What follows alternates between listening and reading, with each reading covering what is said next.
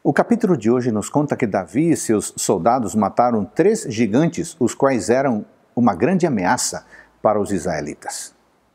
No dia de hoje, figuradamente, nós também precisamos derrotar gigantes, dentre os quais, muitas vezes, a depressão, maus relacionamentos, tentações, pecados ocultos, doenças, etc.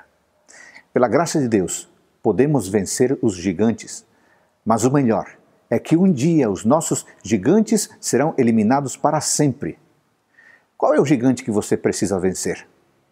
Ore assim: Deus, por favor, me dê a vitória por seu poder e sua graça.